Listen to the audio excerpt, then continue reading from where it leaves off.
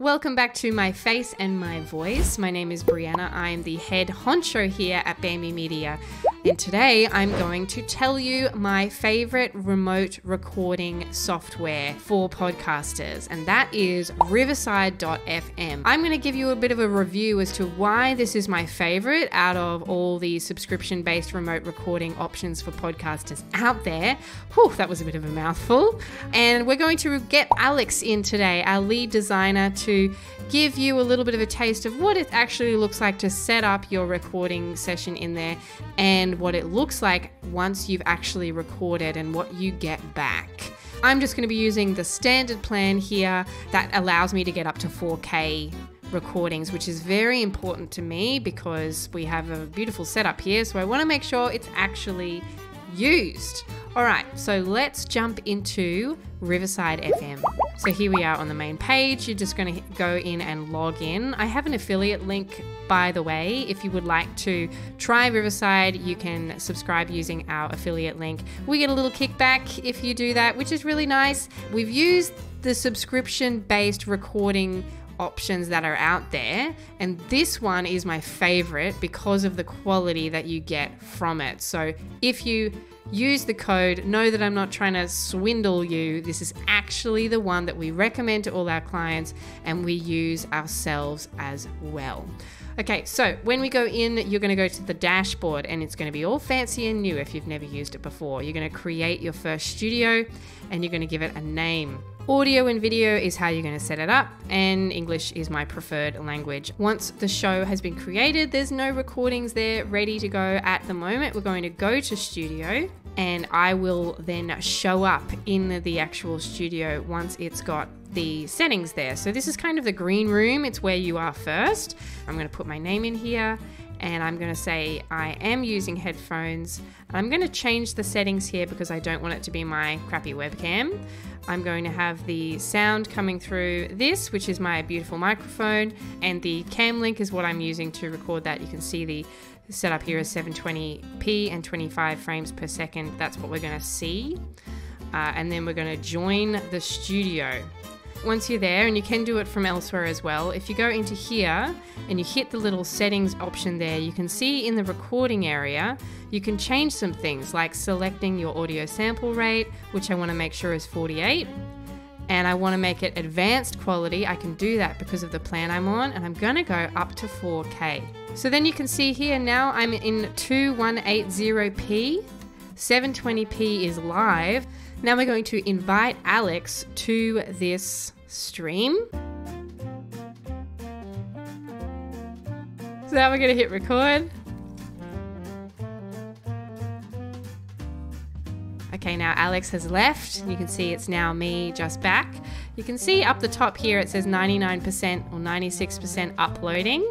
And if you leave the session now, we can go end session for all. Now, not that you can see just because it's behind my head in this little circle, but it is uploading the tracks at the moment, meaning that we don't want Alex to close down that browser on his end until it is absolutely uploaded, and then we will come back once it has finished processing.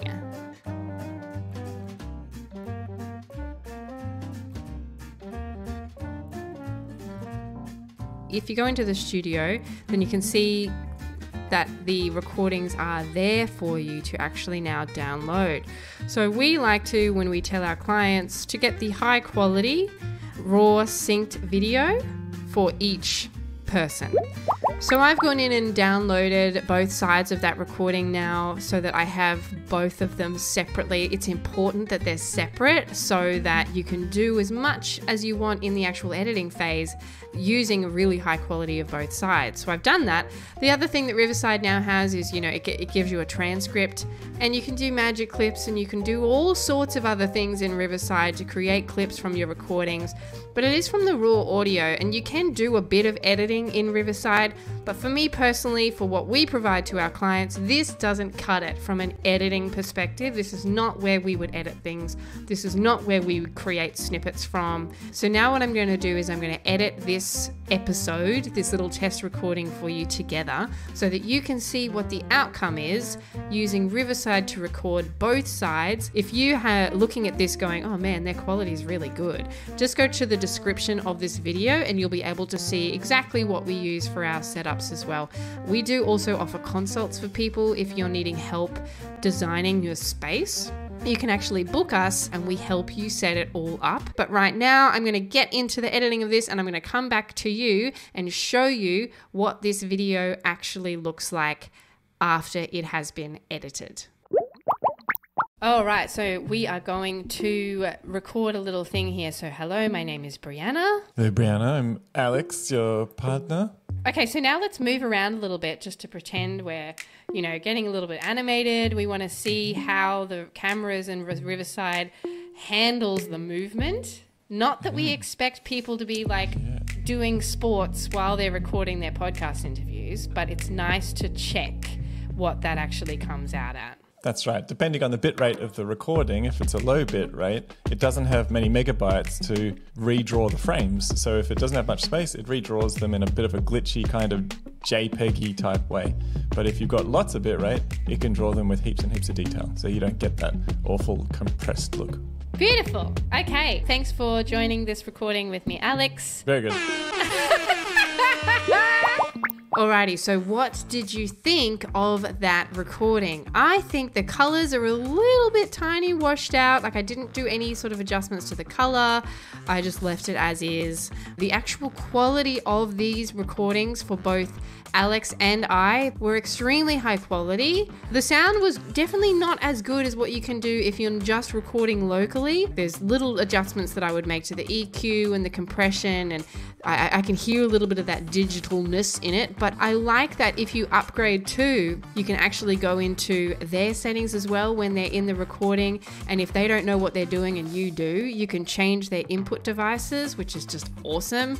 I like that it is individual tracks, that there are back backup tracks as well. Don't be put off by the fact that there is a little bit of glitching when you're actually in the recording session with someone, especially if there's multiple people in the session as well. There will be a little bit of glitching, especially if you're recording in 4K. Uh, and so don't be put off by that because it is still getting the best quality recording out of it. You're just not seeing that as well.